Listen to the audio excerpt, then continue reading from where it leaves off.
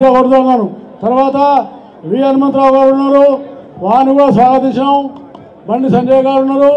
అలాగే అనేక మంది నాయకులు ఉన్నారు కాబట్టి కవిత గారు కూడా మాట్లాడాలి.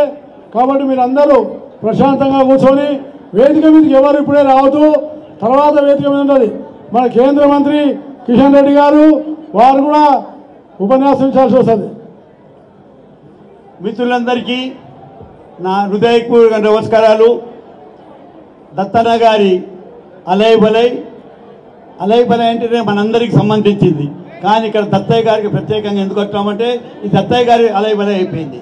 ప్రపంచంలో ఎక్కడైనా అలబై అలా అయితే ఆత్మీయత చేకూరిస్తే అది దత్తయ్య గారి పేరు మన జ్ఞాపకం వస్తుంది.